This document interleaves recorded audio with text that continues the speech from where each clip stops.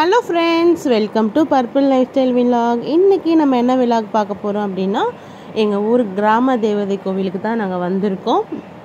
கோவில் எதுக்காக வந்திருக்கோம் அப்படின்னா நாங்கள் வந்து சாமி பார்த்துட்டு கடா வெட்டு விருந்துக்கு நாங்கள் வந்திருக்கோம். அதுக்காக அர்ச்சனைக்கு தேவையான பூ பழம் அதெல்லாம் வாங்கியாச்சு. வாங்கிட்டு இப்போ உள்ளே போகலாம் பாருங்கள் செம்ம ரெஷ்ஷாக இருக்குது. இது காலையிலே வந்து காலையிலே பயங்கரமான ரஷ்ஷாக இருந்துச்சு. நாங்கள் வந்து ஒரு பதினோரு மணிக்கிட்ட தான் வந்திருந்தோம். அப்பயும் ச நிறைய பேர் வந்து ஒரு ஒரு பக்கம் பார்த்திங்கன்னா பொங்கல் வச்சுக்கிட்டு கோழி கோழி வெட்டிட்டு குழம்பு வச்சுக்கிட்டு பிரியாணி செஞ்சுட்டு நிறைய பேர் நிறைய விதமாக குக்கிங் பண்ணிகிட்டு இருந்தாங்க. சரி அதையும் மீறி நாங்கள் கோவிலில் போய் தரிசனம் பார்த்துட்டு வரலாம் சொல்லிட்டு த ஆனால் மூலஸ்தானம் வந்து வீடியோ எடுக்க முடியாது. அதனால் நாங்கள் வந்து அந்த பிரகாரத்தை மட்டும் நான் வந்து வீடியோ எடுத்திருக்கேன்.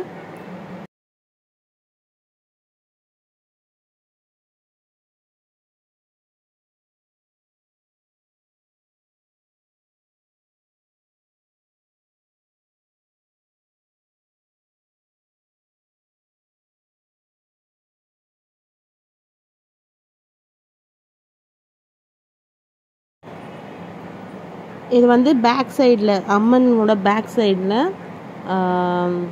கும்பிட்டு போகலாம் அடுத்து வந்து உள்ள முள்ளஸ்தானத்தில் வந்து வீடியோ எடுக்க முடியாது. ஆனால் இங்கே பக்கத்துலேயே வந்து அதே அம்மன் தான் வந்து அலங்காரம் பண்ணி அதாவது இந்த ஆடி மாதம்லாம் ஸ்பெஷலாக இருக்கும். அதனால் வந்து இங்கேயும் வந்து அம்மன் வச்சு இங்கேயும் வந்து அர்ச்சனை பண்ணுவாங்க.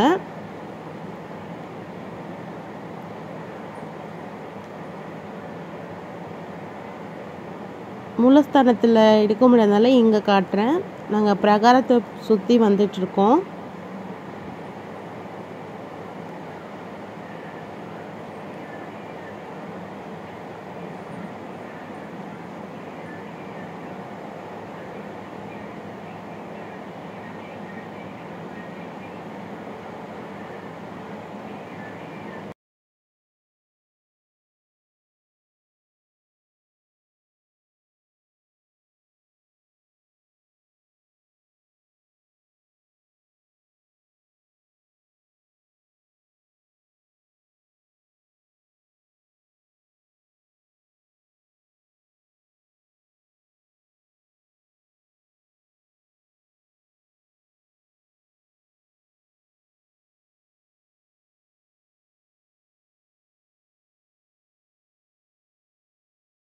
பிரகாரத்தை சுற்றியாச்சு பிரகாரத்துலேருந்து கொஞ்சம் வெளியே கோவில் உள்ளே தான். அங்கே வந்து அங்கே போய் பார்த்தா எங்கள் ரிலேஷன் ஒருத்தவங்க வந்து கோழி குளம் வச்சுருந்தாங்க. சரி நான் ஒரு வீடியோ எடுத்துக்கிட்டா கேட்டுட்டு நானும் ஒரு வீடியோ எடுத்தேன்.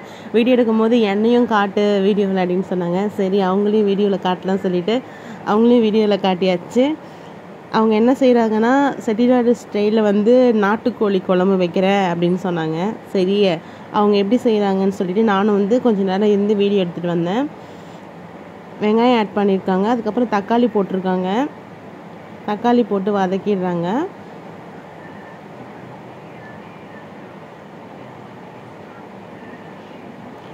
அவங்க ஃபஸ்ட்டு கடுகு அதெல்லாம் போடும்போது நான் போகல இந்த டைமில் தான் நான் போயிருந்தால இதுலேருந்தே நான் வீடியோ எடுத்துகிட்டு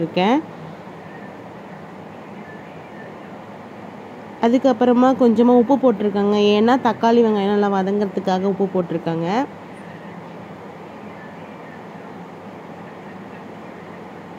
அப்படியே சுற்றி பார்க்கலாம். எவ்வளோ பேர் இங்கே வந்து பொங்கல் வச்சிட்ருக்காங்க. நிறைய பேர் பொங்கல் வச்சுட்டு நிறைய பேர் இந்த சைடெலாம் பார்த்தீங்கன்னா நிறைய குக்கிங் பண்ணிட்டுருக்காங்க இங்கெல்லாம் வடை செஞ்சிட்ருக்காங்க.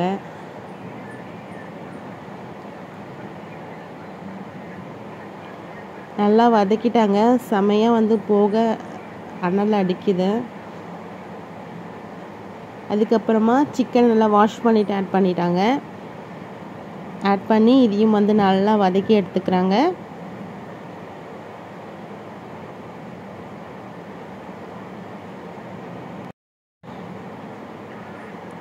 இது கூட கொஞ்சமாக மஞ்சத்தூள் ஆட் பண்ணியிருக்காங்க ஏன்னா வந்து கோழிக்கறி வந்து நாட்டுக்கோழினா வந்து கொஞ்சம் கவிச்சி ஸ்மெல் அதிகமாக இருக்கும்.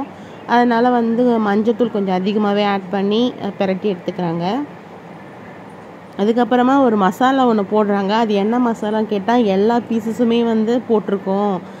பட்டை லவங்கம் கிராம்பு அன்னாச்சிப்பூ கடற்பாசி அதுக்கப்புறம் வரமிளகா நமக்கு என்னென்ன பீசஸ் வந்து பிரியாணிக்கு போடுவோமோ எல்லா பீசஸுமே நாங்கள் போட்டு கிரைண்ட் பண்ணி எடுத்துகிட்டு வந்தோம் அப்படின்னு சொன்னாங்க.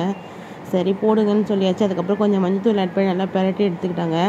பார்க்கவே சூப்பராக இருந்துச்சு. அதுக்கப்புறமா ஒரு பேஸ்ட் ஒன்று ஊற்றுனாங்க அது என்ன பேஸ்ட்டுன்னு கேட்டேன். ஆனால் அது அது வந்து என்ன பேஸ்ட்னா வெறும் கோகோனட்டும் முந்திரி பருப்பு அப்புறம் வந்து பார்த்திங்கன்னா சோம்பு. இது மட்டுமே நல்லா அரைச்சிட்டு வந்து எடுத்து வச்சுருக்காங்க. அதையும் போட்டு நல்லா மிக்ஸ் பண்ணுறாங்க வாசனை சூப்பராக வந்துட்டுருக்கு நல்லா மிக்ஸ் பண்ணிகிட்ருக்காங்க இருக்காங்க. அதுக்கப்புறமா எடுத்துகிட்டு வந்த எண்ணெயும் வந்து வேஸ்ட்டாக கூட சொல்லிட்டு இதுலேயே எடுத்து ஊற்றிட்டாங்க அவ்வளோதான் கொஞ்சம் அதில் மிக்ஸ் பண்ணி தண்ணியும் ஆட் பண்ணியாச்சு. ஆட் பண்ணி நல்லா மிக்ஸ் பண்ணி விட்டுறாங்க.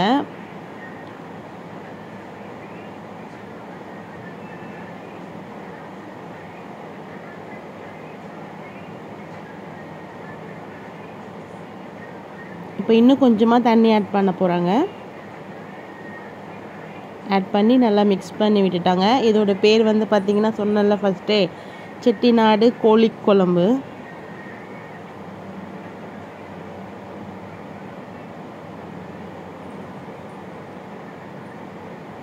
இன்னும் எக்ஸஸாக தண்ணியும் ஆட் பண்ணியிருக்காங்க நல்லா மிக்ஸ் பண்ணி விட்டுடுறாங்க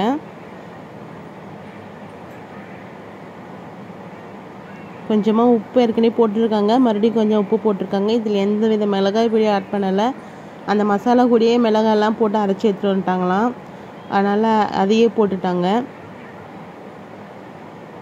மூடி வச்சுட்டாங்க. சரி அப்படியே ஃபுல்லாக சுற்றி காட்டிடுறேன். இந்த சைடில் தான் வந்து பிரியாணி வேறு நடக்க போகுது. ஆனால் நான் இன்றைக்கி சாப்பிடல. இன்றைக்கி வந்து ஷஷ்டினால் எங்கள் வீட்டு ஃபேமிலி மட்டும் சாப்பிட்றாங்க. அதுக்கப்புறம் இங்கே வந்து வடை பாருங்கள் எப்படி டக்கு டக்குன்னு போட்டுட்ருக்காங்கன்னு.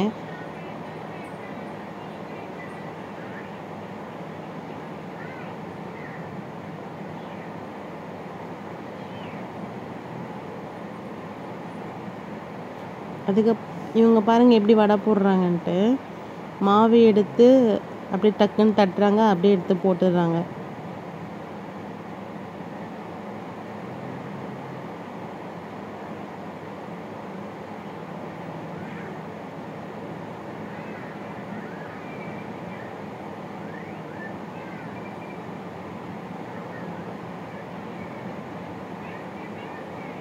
குழம்பு ஓப்பன் பண்ணிவிட்டு அது கூட கொட்டாங்குச்சி போட்டால் சிக்கன் வந்து நல்லா வெந்துடும் சொல்லிட்டு கொட்டாங்குச்சி போட்டு வேக வச்சுருக்காங்க. இப்போ பாருங்கள் சூப்பராக வந்து கறியெல்லாம் வெந்து குழம்பும் வந்து சூப்பராக ரெடி ஆகிடுச்சு ஆனால் நான் சாப்பிடக்கூடாது அதனால் திரும்பி அப்படியே வந்துட்டேன். மறுபடியும் உள்ளே போனால் இங்கே எல்லாமே பிரியாணி எல்லாம் ரெடி ஆகி சாப்பிட்டுட்டு இருந்தாங்க.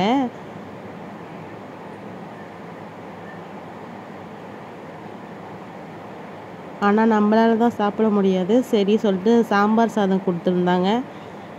அதை வாங்கி சாப்பிட்லான்னு சொல்லிட்டு அதையும் வாங்கிட்டேன். அதையும் வாங்கி சாப்பிட்டுட்டேன். ஆனால் சொல்லக்கூடாது சாம்பார் சாதமும் சூப்பராக தான் இருந்துச்சு.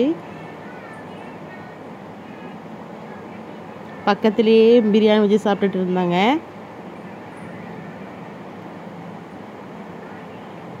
அதுக்கப்புறமா பிரியாணி பாத்திரத்தில் அந்த சாப்பிட தான் முடியலையே சொல்லிட்டு பிரியாணியும் நான் ஒரு வீடியோவும் எடுத்துகிட்டு வந்துட்டேன்.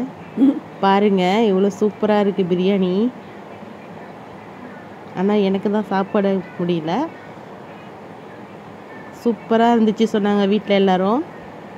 அதுக்கப்புறம் அப்படியே வெளியே வந்து அவங்க செஞ்சிட்ருக்க இடத்துக்கு போய் பார்த்தேன். ஆனால் ரொம்ப நேரமாக குழம்பு கொதிச்சுட்டு தான் இருக்குது இது ஆஃப் அன் ஹவர் ஆகும் அப்படின்னு சொன்னாங்க கொதிக்கிறதுக்கு.